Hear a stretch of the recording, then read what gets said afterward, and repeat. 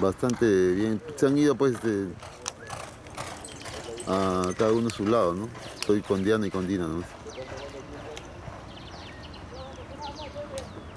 Es- No, ese, Luis está viviendo con Berenice.